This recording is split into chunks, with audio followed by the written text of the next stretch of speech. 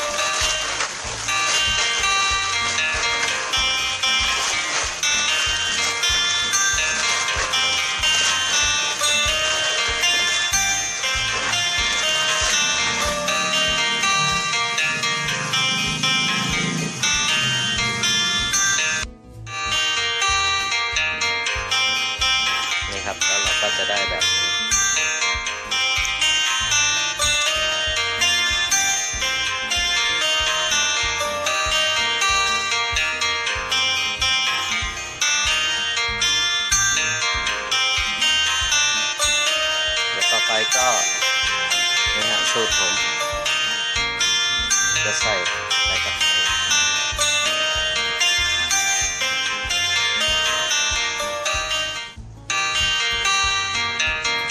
ก็ใส่หัวปลา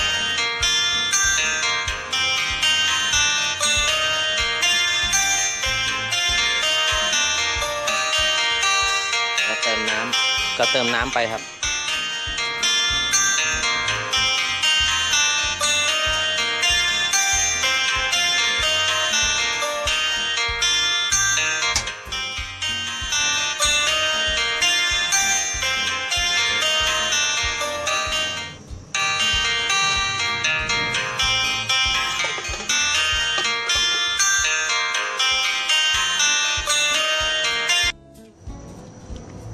ไปก็มาดูสูตรน้ำจิ้มผมนะครับ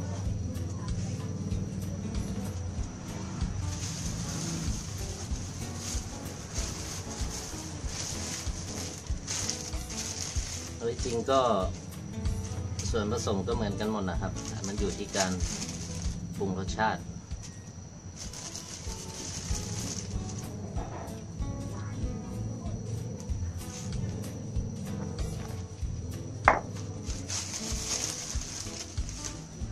ลัวผมแคบครับก็ ถ้ามีเงินก็อยากจะทำครัวดีๆสะอาดสะอาดๆตอนนี้ก็ชาวบ้านเขาอยู่ ก็เลยต้องครัวแคบๆอย่างนี้ไว้ก่อนนะ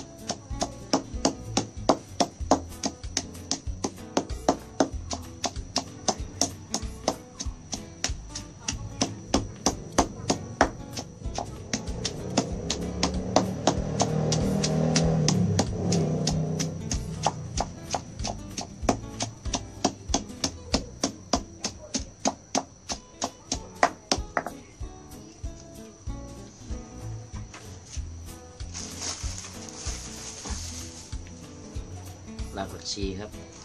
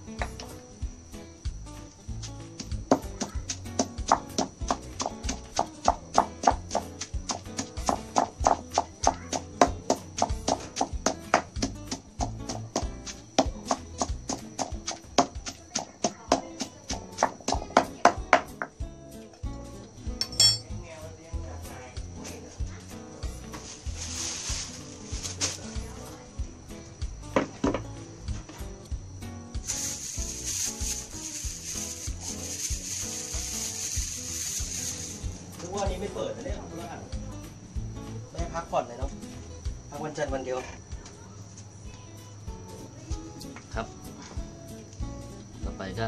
น้ำปลา ไม่ต้องเยอะครับ เดี๋ยวเค็มเดี๋ยวเราใส่น้ำอุ่นน้ำซุปอีกที ถ้าเราใส่น้ำปลาเยอะมันจะเค็มเค็มมากเราจะใส่นิดเดียวพอเค็มแล้วก็ใส่มะนาว ถ้ามันแห้งไปเราก็ใส่น้ำอุ่นนะครับ น้ำต้มสุก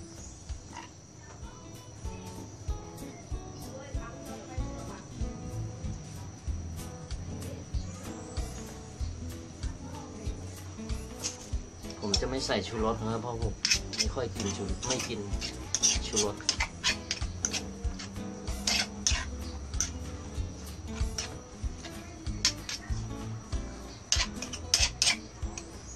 ว่าต้องใช้น้ำต้มสุกนะครับว่า ท้องจะได้ไม่เสีย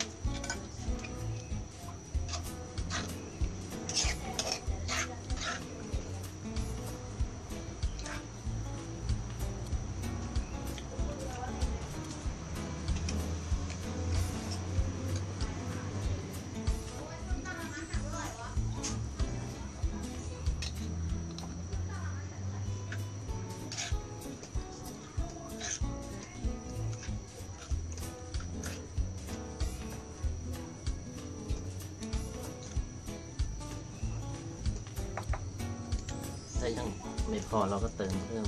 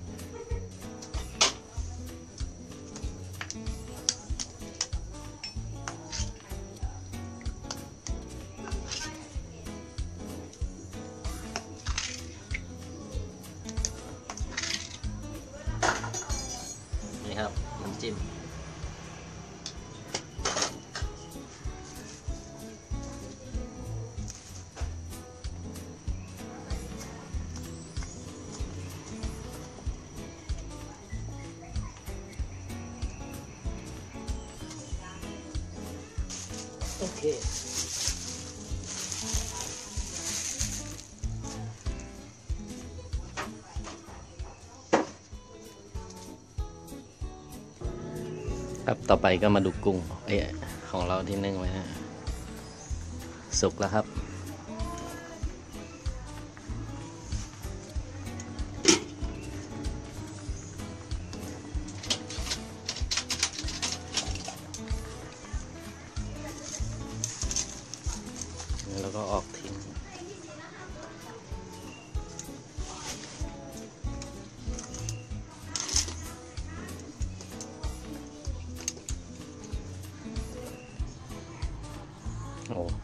สุดยอด เดี๋ยวผมจะไปย่างกุ้งต่อนะ นี่นะครับ สูตรของผม ผมจะใส่ใบตะไคร้แล้วก็ใบโหระพาไปด้วยนะฮะ เพื่อให้มันหอมครับ อันนี้เราผมจะใช้ต้มเอานะครับ ปูเพราะว่าผมเคยนึ่งแล้วมันเนื้อมันแห้งมันไม่อร่อยมันไม่ฉ่ำ ก็เลยใช้ต้มเอาดีกว่า แล้วก็ต้มพร้อมหอยพร้อมกุ้งไว้นะครับอัน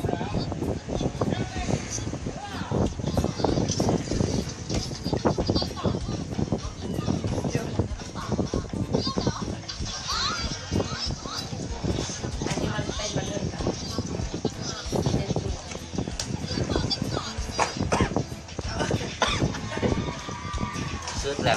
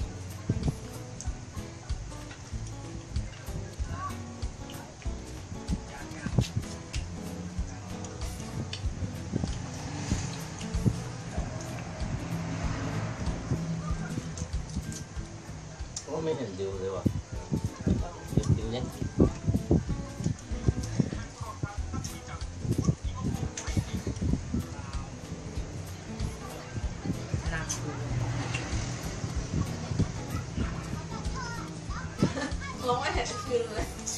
ทำไมอะจำเราดูซิสเตอร์บามเลยนะตอนก้มเนี่ยไม่เห็นเลยเะสีเดียวกับโซฟา